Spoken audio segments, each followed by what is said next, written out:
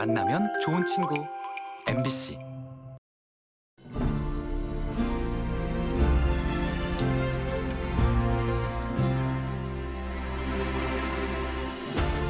세상이 온통 하얗게 변하는 겨울만의 진 풍경. 그 속을 걸으면 어느새 찬 공기마저 낭만이 되어버리지요. 한겨울에도 푸른 빛을 잃지 않는 숲길에서 아무 생각 없이 숨멍에 빠져봅니다. 반갑고 편안해지다 보니까 더 오래 머무르고 싶은 아산이네요. 새로운 곳을 만나려고 떠나는 길 익숙한 모습에 아산이 더 정겨워지는데요. 거기에 넉넉한 인심과 아산만의 독특한 매력에 푹 빠지게 됩니다. 파가 고소고 굵고 또 어디서 가도 판데 이렇게 맛있고 고소고 그래요. 이 쪽파가 그 유명한 이제 도구 쪽파예요. 도구 쪽파. 예, 우리나라에서 20%가 나온대요. 도구 쪽파에서. 우리나라에서 20%가 도구에서 나오면 많이 나오는 거잖아요. 많이 나오고. 이게 이제 처음에는 이제 굉장히 매워요, 파가. 근데 이거를 저기 뭐야 전을 부치면 달아요. 다디단 그 맛이 겨울의 땅속 깊은 곳에서 익어 가듯 지금 우리가 보는 아름다움은 그만큼의 깊이를 새겨온 노력이 만든 예술이지요. 그것을 누리고 이어가는 것은 우리의 몫이겠지요. 그렇게 천년의 풍경을 만들어 가는 곳 아산으로 향해 봅니다.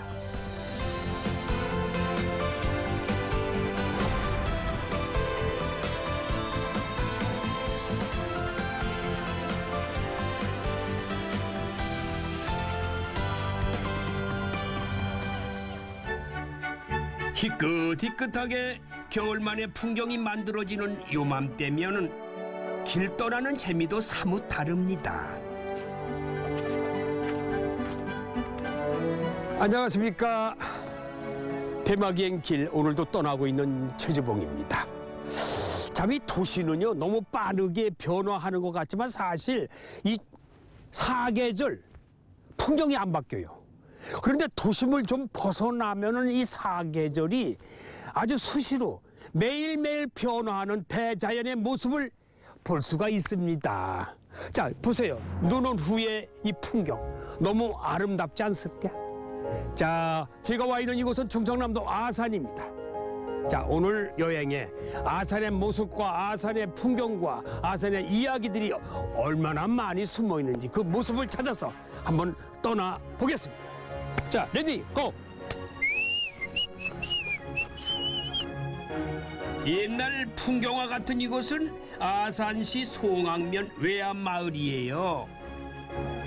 마치 과거로 들어온 것 같은 기분이 드네요. 꾸며 지은 것이 아닌 오랜 시간이 쌓인 자연스러운 멋과 기품이 절로 배어 있는 곳입니다. 옛날 그대로의 모습을 간직하고 있는 마을이 있다고 해서 제가 찾아왔는데요. 이거 초가집이니 귀화집이니 아 진짜 옛날 그대로 그 모습이에요. 제가 보기에는 아 여기가요 명당짜리예요. 제가 풍수지리는 잘 모르지만은 이 남양을 바라보고 있어. 그래서 볕을 많이 받는 남양이고 뒤에는 바람을 막아주는 산이 있어요. 또 이 앞에는 농사를 지을 수 있는 개천이 흐르고 있는 겁니다. 이 정도면 뭐 삼척동자도 다 갈 수 있는 거 아니에요? 어디 마을 모양새뿐이겠어요. 나지막한 담 하나 넘어 가족 같은 이웃 간의 사랑이 훤히 보이니 이 마을이 점점 더 궁금해지네요. 반갑습니다. 네, 반갑습니다. 예, 제가 조금 전에 네. 옛날 모습을 그대로 간직한 마을이라고 제가 소개를 했는데 맞습니까? 네, 맞습니다. 어, 여기가 어떤 마을인지 한번 좀 아, 소개 좀 해주시죠. 저희 마을은 예. 500년 역사를 가진 예. 마을로서 지금은 이제 국가문화재라서 마을이 전체가 지정돼 있어요. 네. 그래서 옛 사는 모습을 그대로 보존하고 있는 마을입니다. 네. 그럼 현재 이런 집집마다 거주하고 있는 분들이 계신가요? 네, 다 거주하시고 음. 간혹 빈집들도 있는데 예. 그런 집이 이제 민박이나 이런 것도 활용을 합니다. 아 그래요? 네. 그럼 이 마을 좀 구체적으로 소개 좀 해주시죠. 저희 마을은 음. 주민이 약 132명이 살고 계시고요. 예. 근데 그렇죠. 실제 이제 거주하기 시작한 거는 어, 조선 중기에 이한희 씨가 이제 요한마을에 그 장가를 들면서 예. 예전에는 이제 처갓집으로 많이 갔잖아요. 그렇죠. 그러면서 이한희 씨가 그때부터 입양을 해가지고 마을이 번성, 번성하기 시작했던 마을입니다. 그렇게 터전 삼아 일궈낸 마을이라도 근대화와 현대화를 거치는 경랑의 시간을 어찌 넘겼을까 궁금하기도 하고요. 건재고택의 아름다운 풍경에 젖어들다 보니까 어떤 마음으로 살아왔을지 짐작이 갑니다. 근데 이 집은 정원이 상당히 아름다워요. 아름답다 또 보니까. 독특해요. 예, 예. 음. 아마 저기 일본식이 좀 많이 들어가지 않았나 이제 그런 얘기가 많이 나옵니다. 네. 어, 우리 전통 조선 조선의 정원은 투박합니다. 나무를 막 투박하게 심어놓는데 여기는 아름답게 나무를 갖고 놨지요. 그리고 연못을 꾸며놨는데 연못도 거북우며 연못을 꾸며놨습니다. 그리고 물이 차면은 학이 날개를 핀 모양으로 만들어 지금도 그 모습 나와 있는데 예전에는 그런 돌들이 상당히 많이 있었는데 이 집이 개방되고 뭐 시작하면서 그 돌이 다 없었어요. 누가 다 집어간 거지. 그렇. 그러니까 지금은 이제 그런 모습 볼 수가 없어요. 고종으로부터 하사받았다는 이 참판댁에 들렀는데요. 사실 이곳엔 지나칠 수 없는 유혹이 있었어요. 연잎으로 빚어 고종에게 진상했다는 연엽주입니다. 그 인군이 우리 모양 폭주를 안 하고 어, 반주로 잡수시는 거니까. 그래서 이거를 어, 약약자를 꼭 넣어갖고 그 약주라는 약을 해서 술을 뭐라 그럴까? 지금 발명해 오라고 그럴까? 무슨 하여간 만들어서? 만들어 갖고 약약자가 꼭 들어. 말로 약 왜 지금도 저 집에 가서 소주 잡수고 가시고 그러지 않고 소주라도 저 집에 가서 그냥 약주라 약간 그러지. 잘하시죠. 아시죠? 이런 말루 약주가 아니라 진짜 약약자가 들어가는 야. 약주로 해서 어. 이것이 이제 어, 어. 많은 술 이름이 올라왔잖아요. 이제 막 많은 그렇죠. 예, 그래 거기서 그 중에서 채택된 것이 연엽주.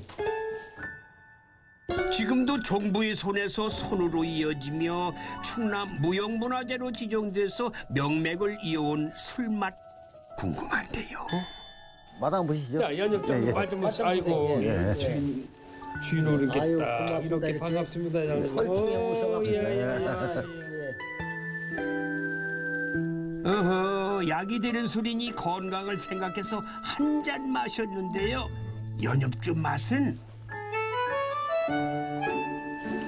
누룩 냄새, 누룩 맛이 나요.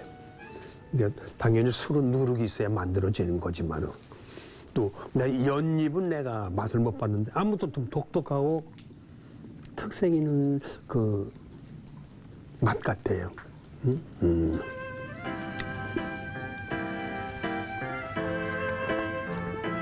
누구나 편한 술. 고종 임금께 진상했던 술이라 그런지 좀 아무 탈이 없어요.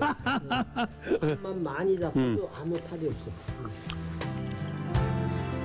술 한 잔으로 여행길이 한결 가벼워지니 기분 좋게 마을 산책에 나섰는데요. 호젓하니 예스러운 경치에 마음이 차분해지네요. 그냥 걸어도 좋은데 또 다른 볼거리가 있다네요. 아산 외암 민속 마을에서 이거 빼면 재미가 없는 거 있어요. 뭔지 아세요? 저작거리 쇼핑인데 이게 좀 저작거리예요. 여러분들 저작거리가 뭔지 아세요? 요즘 말로 치면 시장, 백화점, 그리고 마트 이런 걸 예전엔 저작거리라고 했거든요. 예나 지금이나 이 쇼핑은 재밌잖아요. 한번 쇼핑해 볼게요. 한번 있어봐. 근데 어디서 무슨 네, 향기로운 냄새, 이상 맛있는 냄새 나는데 이 범인이 누구야? 맛 범인이 출처를 찾으러 가시죠. 한번 있어 어디야? 이거 어디서 맛, 맛, 이, 이 냄새 나는 거야?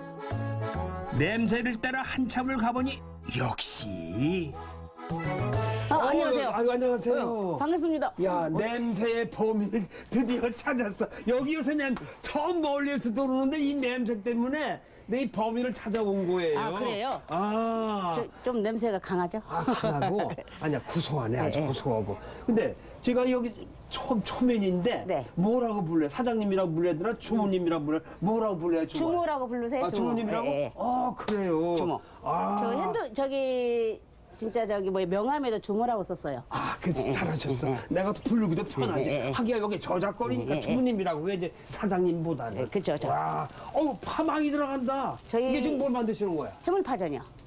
근데 파가 다 전체 파전 파네 그냥. 네, 해물 파전이니까 파가 많이 들어가야 되겠죠. 야, 그래서 파전이라고 하는구나. 네. 저희는 아무리 비싸도 쪽파에 응. 이거 많이 이만큼 넣고요. 네. 싸도 이만큼 주고요. 똑같이.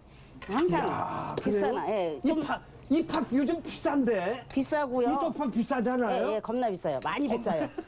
검도 비싸요? 예, 예, 많이 이 비싼 비싸요. 걸 어떻게 왜 파전을 야 이렇게 크게 만들어 또? 대신에 음. 좀쌀 때 좀 많이 남기고 아, 비쌀 때 조금 남기고 그래야지 뭐 아, 싸다고.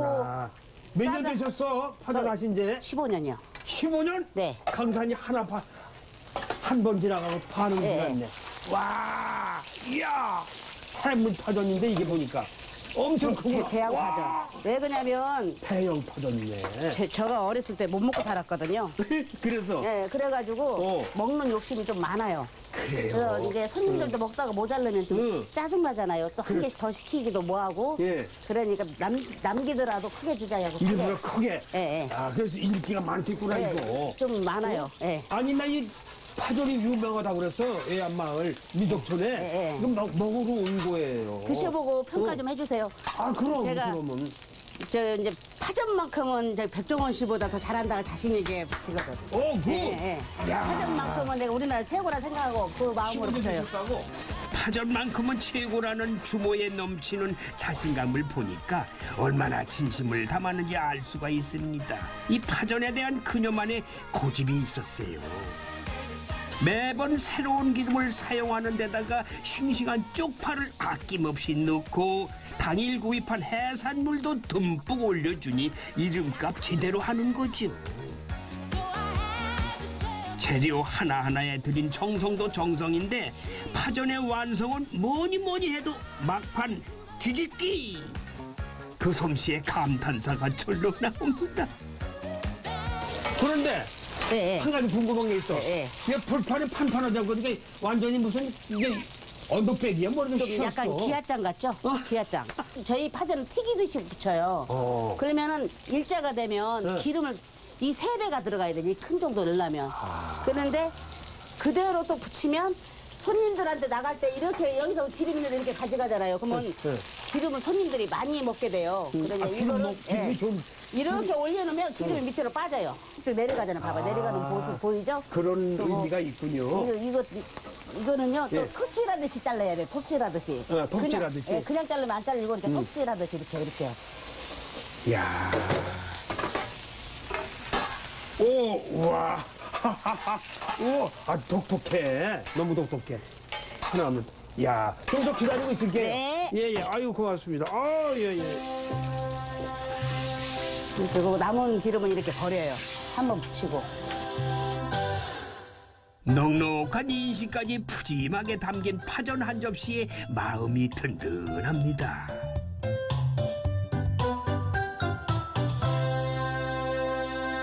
난 이렇게 파전 큰 건 처음 봤어. 아무래도 서울에서 이거 내가 파전을 좋아하거든요. 예, 예. 파 먹으러 다니는 거야. 예. 예. 근데 어디 가면 파가 이만큼 뿐이 안 예, 들었어. 근데 아까 보니까 만든 그 파가 엄청 아주 한두 한 달을 주먹. 집어넣었다고. 주먹, 한 주먹. 이 파가 비싸잖아요. 쪽파가 비싸잖아요. 요즘에 검- 많이 비싸요 많이 비싸요. 많이 비싸 그걸 여기다 잡아 집어넣고 한두달 정도 집어넣으면 이게 뭐 남나 남는 게 있어요? 아유 속이 떨면서 넣는 거죠 그래도 이 쪽파가 그 유명한 이제 도구 쪽파예요 도고 쪽파. 예, 우리나라에서 20%가 나온대요. 도구 쪽파에서. 우리나라에서 20%가 도구에서 나오면 많이 나오는 거잖아요. 아, 많이 나오고. 이게 이제 처음에는 이제 굉장히 매워요, 파가. 음. 근데 이거를 저기 뭐야 전을 붙이면 달아요. 아. 이 매운 만큼 더 달아요. 이게, 이게, 이게 매운 향이 덜한 건 예. 전을 붙이면 덜 달아요. 그런데 그러니까 매운 맛 매운 맛이 쪽파가 나네 맛이. 네, 그쵸. 그죠? 파전 이야기에 막걸리 한 사발을 곁들이며 주모의 사연 보따리도 풀어보는데요. 파전 맛이 좋아서인가요? 주모의 이야기에 단내가 펄펄 나고 그 맛에 빠져듭니다. 제일 저 기분 좋은 말은 음. 꼬마 애들이 할머니 파전이 너무 맛있어요. 애들은 파전을 안 좋아하잖아요. 아, 그렇죠. 그러면서 할머니 나도 파전을 배워야 될까 봐요. 이렇게 꼬마 애들 유치원도 안 들어간 애들이. 오, 애기들이? 예, 그런 말 하고 또 이제 이렇게 가시면서 나또 먹으러 와야 되니까. 아, 또 와야 되겠다. 와야 되니까 건강 유지 잘하셔서 끝까지 오래오래 해줬으면 좋겠다. 그 말 할 때는 그냥 그 필요했던 거에 다 그냥 싹 녹는 거죠. 그렇죠. 또 다시 힘이 생기고 맞아요. 에너지가. 예. 그런 마음 갖고 하시니까 손님 많이 오고 소문 나는 거예요. 예. 그렇게 계속 오래오래 하시면은 계속 좋은 일만 생기실 거라고. 네, 해야 예. 복을 짓는 마음이 어디 따로 있나요? 저는 맛있는 파전의 비결을 찾아 인근 눈 덮인 비닐하우스로 향해 봅니다. 자, 아까 말씀드렸던 도고 쪽파 이곳인 모양이에요. 제가 많이 들어가 볼게요.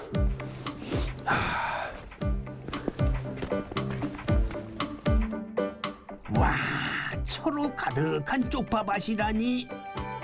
한겨울에도 쉬지 않는 농부의 부지런한 손길이 느껴지시나요? 여기는 아주 온통 딴 세상에 딴 세상. 초록초록 초록. 야, 안녕하세요. 아, 반갑습니다. 반갑습니다. 좀 전에 예, 예. 저 외암리 그 쪽파로 만든 파전 있죠? 네네네. 그저 그 주인께서 쪽파가 하도 맛있어 물어보니까 여 토고 쪽파라 이거야. 예. 그래서 이렇게 물어 물어 좀 논길 따라서 이렇게 누운 추운 겨울에 찾아온 거예요. 예, 저희가 예. 주로 그, 그분한테 쪽파를 봄, 여름, 가을, 겨울까지. 해주는구나. 예, 예. 와 거기도 장사 잘 되더구만요. 예, 저희 오. 쪽파가 품질이 좋다 보니까 어. 파전 잘 나가는 걸 알고 있어요. 어. 어디 파전뿐인가요? 이곳 도고는 전국 쪽파의 20%를 생산하는 주산지로 사시사철 쪽파를 수확하고 있다네요. 난 도구 쪽파가 뭐가 좋은 줄 뭐가 좋은가 하고 궁금해하는데 왜 소문나고 맛이 있고 소문 여기 유명해요 여기가. 아, 저희 지역이요. 음. 이 산으로 둘, 둘러싸여 있는 음. 중산간 지역이다 보니까 음. 아침, 저녁에 기온의 차가 심하거든요. 아 그래요? 예, 그리고 쪽파 자체가 열이 많은 식물이거든요. 그래갖고 음. 예당 평야 바람이 저 도구 저수지를 거쳐서 열로 계속 오거든요. 그래갖고서 바람이 솔솔 불고요. 이 물 빠짐이 아주 좋아요. 아 이 지역이? 예, 예. 그래갖고 이제 밤낮에 기온의 차가 심하다 보니까 예. 쪽파가 자라려고 튼튼하게 세포 자체가 튼튼하게 자라거든요. 아, 그랬을 때 그래서? 김치를 담았을 때 예. 이씨 물러지지가 않고요. 쪽파 아. 향이 아주 강해요. 도고 쪽파의 진면목을 보여주겠다고 해 매서운 겨울 들판으로 나왔습니다. 이 눈밭에 쪽파가 자라고 있어요. 찬눈을 뚫고 올라오는 겨울 노지 쪽파의 생명력이 놀라운데요. 야, 이만하면 보약이라고 해도 되겠죠. 지금은 쪽파가 많이 자라질 않았어요. 어 이게 한 3월이나 봄 돼야 싹이 올라오나요? 어떻게 되는 예, 거예요? 예. 음. 저희가 이게요. 9월 한 20일서부터 11월 초까지 심거든요. 아. 다음 연도에 수확을 하기 위해서요. 음, 음, 음, 근데 어느 정도 자랐다가 예. 이 추워져 감에 예. 이 위에 있던 영양분을 뿌리에다 깊이 내리거든요. 예. 그러면은 제가 최고 많이 뿌리가 간 거는 포크레인으로 이렇게 해보니까요. 음. 1m도 더 들어가 있더라고요. 이 쪽파 뿌리가 예, 예, 예. 와. 그러니까 이제 아. 들어가 있다 봄에 되면요. 그 1m 밑에 있던 기온까지 쫙 뽑아 올라와? 올려 갖고요. 아. 쪽파가 파릇파릇해지잖아요. 네. 그러면 저희가 이제 본격적으로 생산하는 게 3월 말서부터 5월 초까지가 한 해를 넘긴 쪽파 음. 그게 주로 생산되는 시기거든요. 예.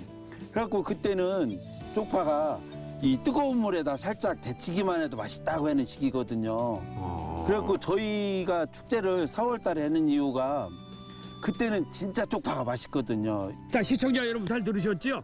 자 도고 쪽파로 4월에 축제가 열린다는데 그때 한번 더 오시면은 현장에서 생물도 구입할 수 있고 또 쪽파를 담근 김치도 맛볼 수 있다고 하니까 그때 한번 더 오셔도 좋을 것 같습니다. 지금은 조금 잘하고 있어요. 지금 이게 3, 4월이나 출하되니까 아직은 뭐 좀 기다리시면 됩니다. 아 우리 회장님 고맙습니다. 네, 감사합니다. 감사합니다. 네, 네. 예, 예.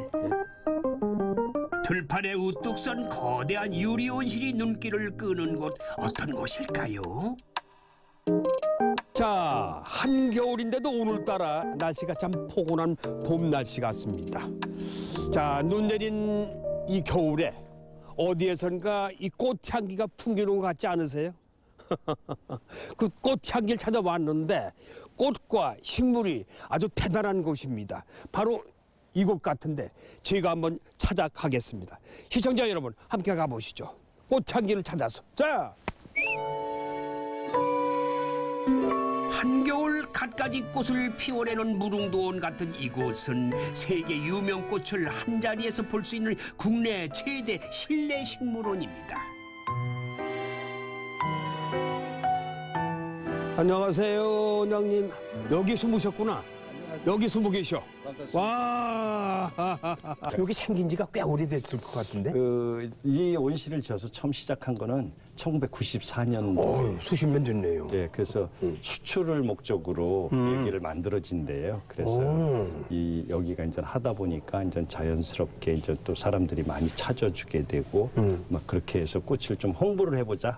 막 이런 의미에서 만들어진대요. 꽃 종류가 꽤 많겠죠. 그, 그래서 다른 데처럼 이게 대부분 이제 그런 말씀만 여- 여기만 있는 거, 네. 막 그런 것들은 좀 뭐 흔하지 않고 이게 대한민국 그 농민들이 화훼 농민들이 짓고 있는 게 3천 품종 정도 돼요. 그래요? 그래서 그거를 좀 이렇게 예, 계속해서 좀 이렇게 바꿔가면서 좀 보여줬으면 하는 게 예, 목적으로 해서 한 3천 정도. 삼천 품종. 어디선가 본 적 있는 온갖 식물이 다 있다는 건데요. 처음 보는 몽환적인 꽃. 국내에서 여기에서만 볼 수 있대요. 일반적으로 영어권에서는 뉴질랜드 앵초라고도 불러요. 뉴질랜드 앵초. 예, 그러니까 이제 이 기억하기가 좋은데 그래서 꽃이 아주 이렇게 혀가 나오는데 앵초처럼 예쁘게 펴 있어서 어, 사람들이 되게 사랑스러워하는 건데 되게 까다로워요. 이것도 향기가 있겠죠. 아, 그러니까는 좀 이렇게 보면 이쁜 것들이 향이 없어요. 향이 없네 별로. 예, 그래서 어, 이제 꽃이 이렇게 많이 피는 것들은 굳이 향을 가지고 안 해도 그래서 제가 아까 이렇게 만졌던 게 어떻게 하면 씨앗을 요걸 갖다가 교배를 해서 다른 색깔을 좀 만들어 볼까 그런데 씨앗이 잘 안 맺혀요. 아 교배. 예, 예. 그래서 지금 계속 하고 있는데 계속 실패를 해요. 그래서 아직까지는 요거 하고 전 한 가지 색깔이 조금 개가는 개연성이 없는데 그런 것들인데 제가 개인적으로는 되게 좋아합니다. 꽃에 대한 열정으로 걸어온 30년 의 길이 쉽지만은 않았다고 합니다. 지난해 화재로 큰 피해를 입었지만 시민들의 봉사로 빠르게 복구해서 이렇게 다시 꽃을 피웠는데요. 고난에도 꾸준히 꽃을 피워낸 그의 내공이 느껴집니다. 이거 운영하시면서 그동안에 손때 묻은 곳이 많이 있고 애착하는 곳도 많이 있고 여러 가지 시행착오도 많이 있었을 테고 수십 년 동안 해오시면서 좀 하여튼 뭐 좋은 기억은 그렇게 많지 않는데 많은 분들이 여기 와서 도대체 이런 정신 나간 짓을 누가 했어? 이거 욕, 욕, 욕 같으면서도 그게 되게 보람이 있어요. 그만큼 저 사람들이 그렇죠. 예, 꼭 한번 좀 만나보고 싶다 이렇게 하시는 분들이 계셔서 그때는 아 이게 나쁘지 않는 지랄 중에서는 나쁘지 않는 지랄이구나 이제 이런 생각이 들지요. 그때 보람이 느껴지죠. 보기만 하던 꽃에서 키우며 향유하는 꽃의 대중화를 위해 농부의 철학이 곳곳에 깃들어 있습니다. 나만의 화분을 만드는 체험으로 함께 살아가는 반려식물 문화를 보급하기 위해 노력하고 있답니다. 요거 제대로 이제 가지고 가서 제가 잘 키워가지고 제가 세계 꽃 식물원에서 체험해가지고 받은 선물이라고 생각하고서 열심히 키울게. 요거 그러니까 내년까지 아, 계속 그거 계속 커요. 계속. 이게 알뿌리 식물이에요. 사람들이 몰라서 그렇지 여기 감자처럼 이렇게 돼 있어요. 아, 아, 맞아. 그래서 여름에 제일 중요한 게 시원한 데를 좋아해요. 아 시원한데? 아 뜨거운 데 두지면 안 돼? 네. 어, 그럼 햇빛에 내놓으면 안 되겠네. 네. 그래. 아니 햇빛이 이- 그늘에는 그럼. 있는데 바람이, 바람이 불- 분다. 자, 잘 아셨죠? 자, 이, 이게 오늘은 끝난 거죠? 네, 고생하셨습니다. 어, 저 나한테 뭐 또 선물할 거 없어요? 아이 그러니까 뭐 그냥 오늘은 다음번에 한번 사모님하고 같이 오셨을 적에 알았습니다.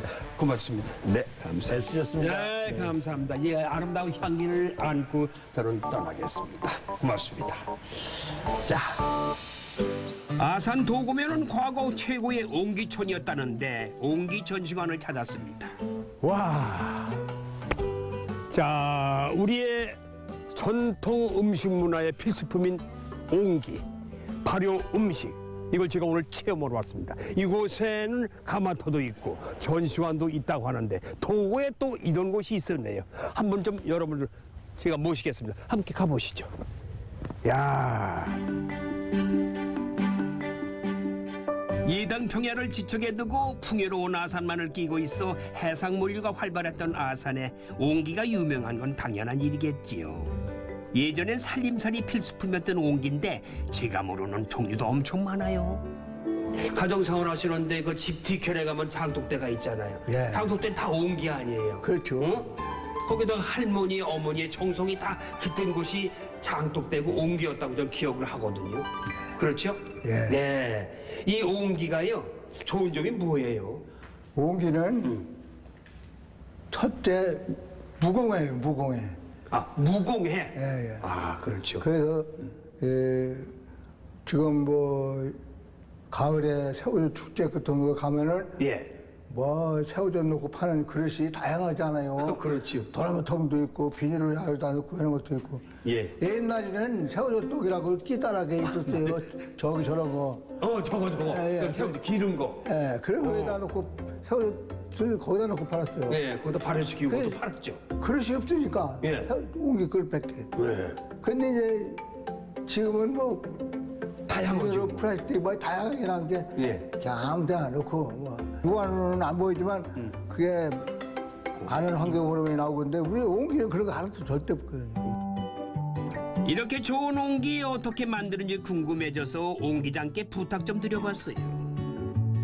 어르신이 하는 작업장이 어느, 어, 디예요 여기에 여기 여기. 아, 요거 보이는 거? 예, 예. 아, 그러네요.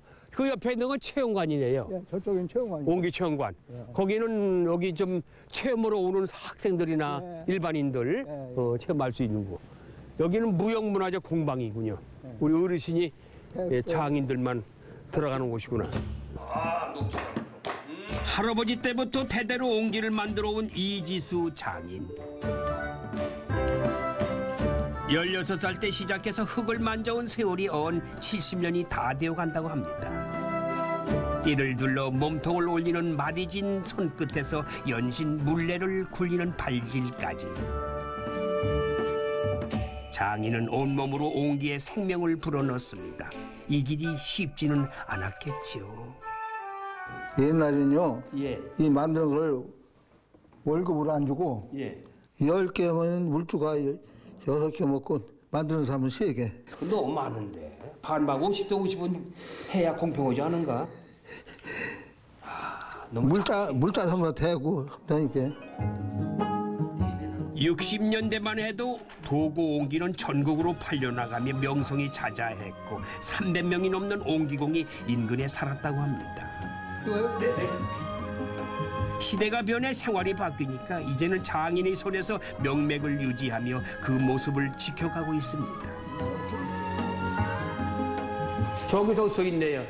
헌법 구조에 국고 전통문화 개성 발전과 민족문화 창달에 노력해야 한다.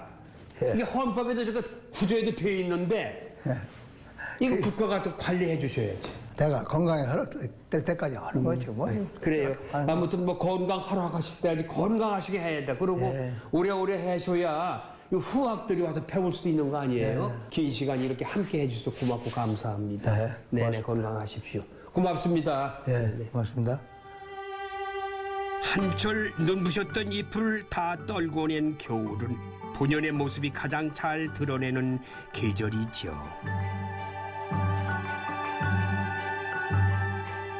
가장 순수한 자신을 돌아볼 수 있는 곳 아산 공세리에선 그런 날을 만날 수가 있습니다. 신부님 안녕하세요. 안녕하세요. 아 오랜만에 뵙겠습니다. 네, 신부님. 오신 거 환영합니다. 예, 성탄 잘 보내셨습니까? 예, 예. 찬미 스님. 네. 근데 이게 뭐야? 왜, 왜 손님이 하나 와 있어? 저희 양입니다. 공세리 양이라고 꽁양이라고 이름이 아, 여기 오는 사람들한테 많은 사랑을 받고 있는 그런 양입니다. 어, 신부님 왜 키우고 있는 거예요? 사자관에서 같이 살고 있습니다. 사정을 함께 살고 있어? 네. 우와 이리 이리 와봐. 이리 와 이리 와. 어이, 이리 와. 어이구 착해라. 아이고 말도 들어. 이리 와봐.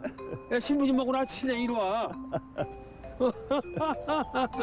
네. 아, 자 신부님 저 이 건축 양식이 이게 빼어난 양식으로 고딕 양축 양식 건축으로 아마 종교 건축 중에서 이저 원 원형을 보존하고 있는 그런 맞습니다. 건축이죠? 맞아요? 네, 네, 맞습니다. 어. 이 드, 여기 성당을 지으신 드비지 신부님이 아버지 신 아버지도 예. 건축가였다고 그러세요. 어. 그래서 이 교회가 신앙의 자유를 찾은 다음에 성당을 내포에 두 개를 세우는데 예. 하나가 공셀이고 하나가 합덕입니다. 아. 그래서 이, 이 공셀이 이 성당 이 언덕에 올라올 때이 음. 성당에는 고생하며 무거운 짐을 지고 얻어긴 사람은 다 나에게로 오너라 내가 너희를 편히 쉬게 하리라. 예. 이 성당은 신앙의 자유와 함께 위로를 상징합니다. 그래서 사람들한테 이 언덕을 올라오는 사람들한테 음. 많은 위로를 주는 성당, 이 공세 성당입니다. 예. 이 성당이 지어진 지는 지금 올해가 101년째, 101년째. 101년째 되고 있습니다. 와.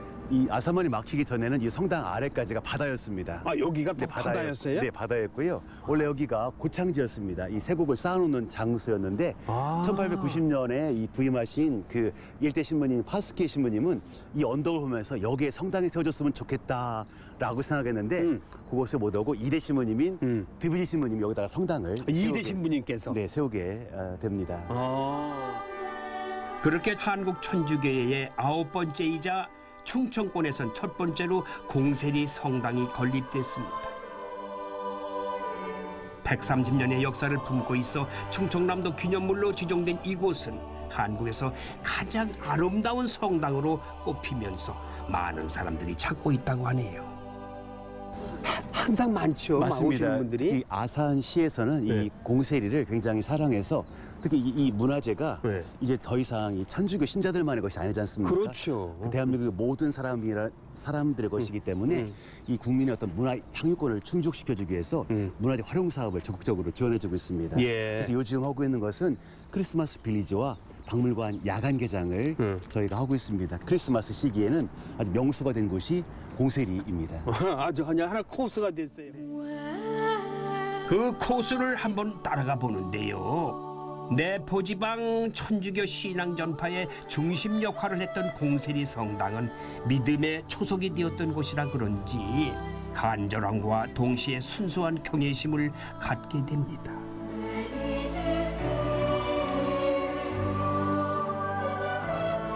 이곳은 목숨으로 믿음을 지킨 32명의 순교자를 모시고 있는 순교 성지이기도 한데요. 한 사람 한 사람의 신실한 믿음이 조각으로 새겨져 있습니다.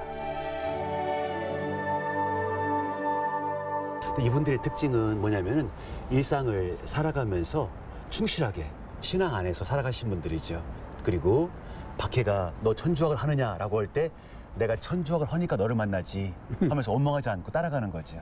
또 여기 삼대는 요한, 프란치스코, 베드로는 삼대입니다 삼대가다 삼대가 다 순교했어. 붙잡혔는데 어, 포졸이 그럽니다.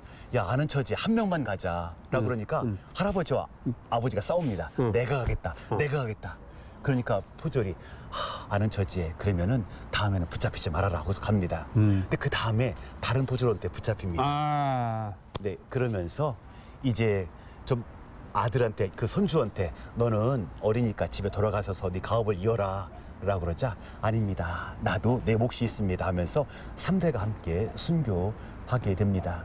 이곳이 그런 곳이다 보니까 많은 사람들이 와서 아 우리 가정도 더 섬기면서 사랑하면서 용서하면서 살아가야 되겠다라는 다짐을 하고서 돌아가신답니다. 아.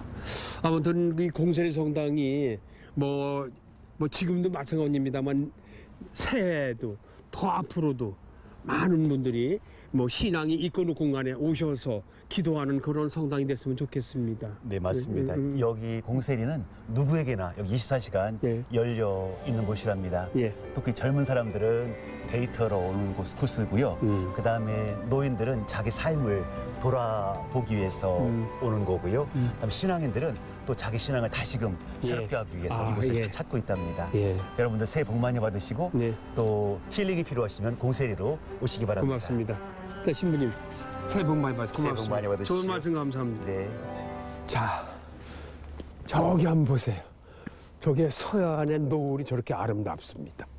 자, 저기 뒤에 바라보니까 저게 아산만이에요. 그런데 저게 수심이 얕아가지고 저게 뭐 바다인지 육지인지 분간이 할 수가 없어요.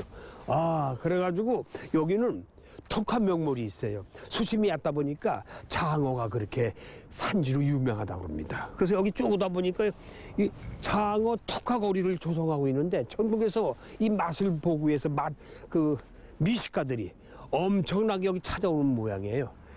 그래서 저도 한번 저거 보고 그냥 갈 수 없잖아요. 저도 맛 좀 보려고 가보시죠. 장어 굽는 고소한 냄새가 걸음을 재촉하네요.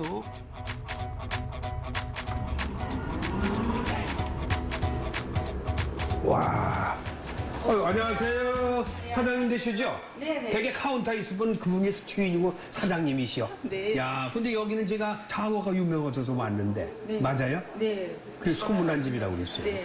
오, 제가 그 많은 이거 장어 타운에서 이 집을 딱 찍어가지고 네. 여기가 맛있게 생겨서 일부러 왔어요. 아유, 감사합니다. 거기에 매일 아침마다 들어오는 싱싱한 장어를 사용한다는 사장님의 고집도 마음에 들었습니다.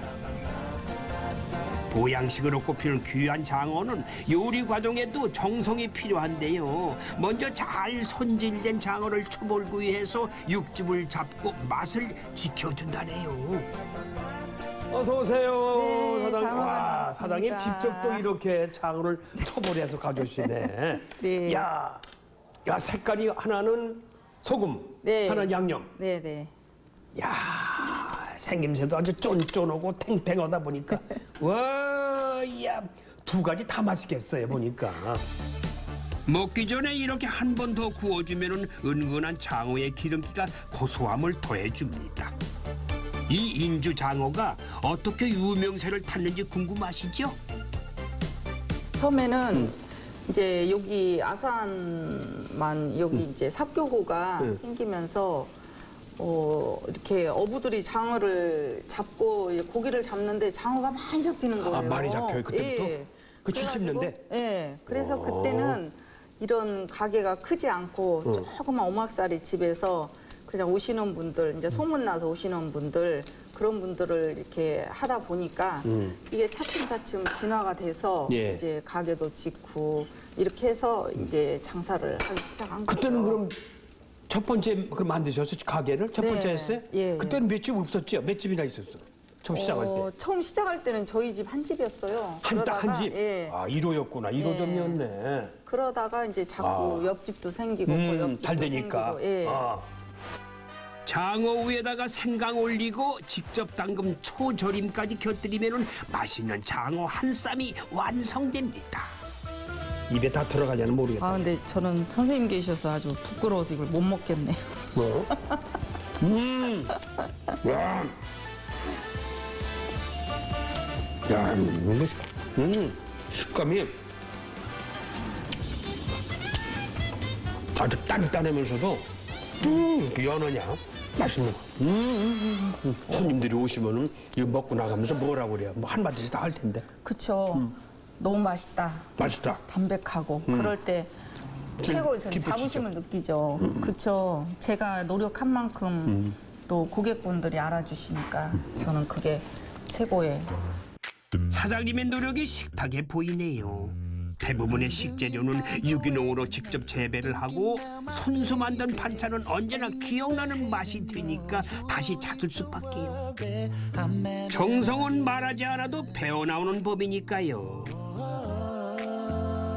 인주장어 맛이 어찌나 좋은지 저에게도 이 겨울을 기억하는 맛이 될 것 같습니다. 사장님 뭐 이제 새 새해니까 네. 그 이 갑진년에 무슨 또 다른 특별한 계획 같은 거 가지고 계세요? 새해 소망 끝 같은 거 좀. 음. 소망은 우리 집에 오시는 모든 고객분들이 다 건강하시고 예. 또 제가 해서 드린 음식을 맛있게 드셔서 아 정말 어, 내가 이렇게 좋은 음식 맛있는 음식 먹고 건강해져야 되겠다라는 생각을 가질 수 있도록 예. 하고 저희 직원들 건강 건강이 첫째인 것 같아요 건강이 최고 건강해야 모든 걸 할 수 있잖아요. 그래서 제 소망은 우리 가족 모든 고객분들 우리 직원들 다 건강하게 지낼 수 있는 뭐 하실 얘기 다 하시는 거 뭐. 아까 말못 온다더니 뭐난 난 내가 질문도 안 했는데 사장님 본인이 다 얘기하네. 뭐 고객들한테 얘기하고 뭐저말 잘 못해요. 말 못하는 정도 이 정도면 내가 뭐 질문할 필요 없죠. 뭐. 음. 아무튼 사장님의 정성과 모든 게 다 그리고 또 거기다 무공예고 직접 제 농사지은 이런 네. 예, 야채를 직접 담그시고 그러니까 그래서 이제 관객 저그 손님들이 많이 오시리라고 네. 생각이 들어요. 항상 감사하죠. 그렇죠. 네.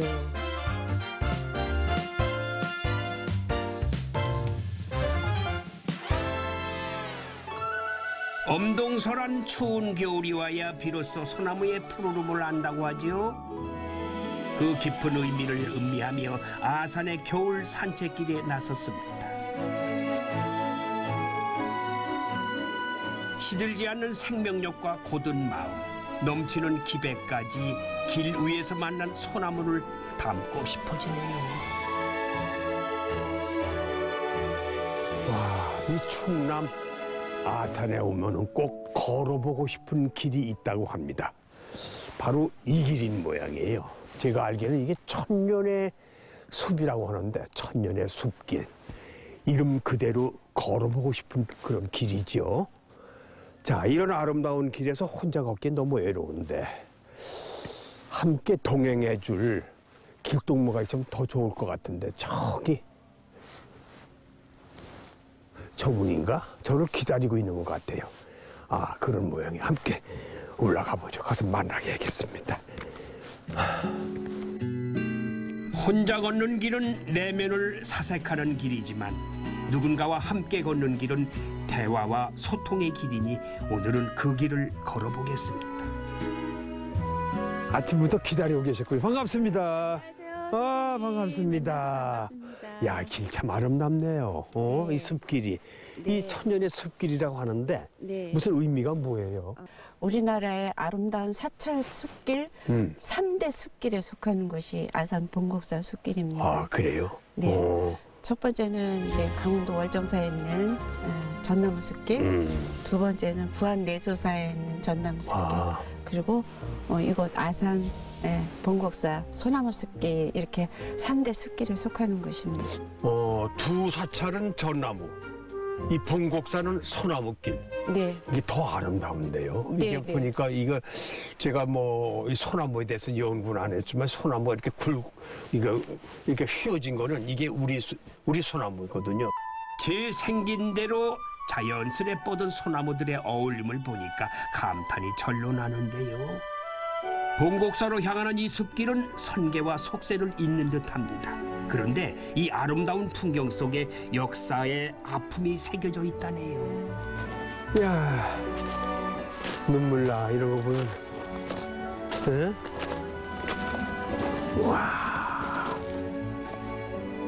V자로 깊게 패인 소나무의 시멘트로 메운 자국들이 많이 눈에 띄죠. 나무는 그마저도 다 자신의 것인 양 끌어안은 채 함께 자라고 있네요. 어찌 보면 나무가 웃는 것처럼 보이기도 하지만 사실은 우리의 아픈 역사를 함께 겪어온 상처랍니다. 이 V자가 왜 이렇게 팠을까 이게? 네, 일제 강점기 때 한창 이제 전쟁이 굉장히 예, 심했을 때 일본인들이 송진을 채취를 해서요 비행기 연료로 활용을 했다고 합니다. 비행기 연료로. 예, 그래서 일자로 찌- 예, 흠을 파면 음. 송진이 잘 안 흐르니까 군인 계급자 형태로 V자 형태로 어. 어, 홈을 파서 송진을. 받아, 예, 송진을 받았다고 합니다. 지능적인 놈. 우리나라 소나무. 송진이 음. 비행기 연료로는 아주 최고였었대요. 아, 네? 그래서 전국에 소나무 군집이 있는 곳은 거의가 다 이렇게 많이 난저 많이 네, 봤어요 이런 상처를. 네, 네. 역사의 아픈 흔적이지요. 그렇습니다. 사실은. 예. 그러면서도 오랜 세월 이렇게 버티고 있는 거 보니까 네. 우리가 소나무에서 배우는 게 많아요. 맞습니다. 그렇죠? 일년 사시사철 푸르잖아요. 그렇죠. 걸또 간직하고 있고 변하지 않는. 마음 그런 걸 표현한 것 같아요. 길에서 나무를 보며 깨우치듯 우리는 삶에서도 수많은 사람들을 통해 인생을 알아갑니다. 호젓한 숲길 끝에서 천년고찰 봉곡사를 만났습니다. 마음으로 걸어온 길이라서 그럴까요? 사찰 구석구석에는 격식보다는 편안한 안식과 따스함이 느껴지고 정갈해지는 기분이 드네요. 어, 신라 진성령 원년에 음. 도성국사가 창건한 사찰이었어요. 그런데 고려 때 보조국사가 다시 중수를 했고 임진왜란 때는 폐허가 됐었어요. 불에 타서. 음. 폐허가 됐는데 조선 정조 임금 때 다시 중수를 하면서 지금 이 모습이 된 거죠. 소나무를 벗삼던 길도 그 길 끝에 봉곡사도 한 폭의 그림 속을 거닐었던 소중한 기억입니다. 한 겨울에도 푸른 빛을 잃지 않는 이 숲길에서 아무 생각 없이 순멍에 빠져봅니다. 반갑고 참 즐거웠고 그리고 재미나고 볼거리도 많은 이곳 더 오래 머무르고 싶은 아산이네요. 자 시청자 여러분 어떻게 즐겁게 보셨나요? 고맙습니다. 자, 올 한 해도 여러분들 계획하신 바 모든 것이 다 이루어지시기 바라고 백내 편안하시길 바라겠습니다. 저는 다음 주에 다시 찾아뵙도록 하겠습니다. 고맙습니다.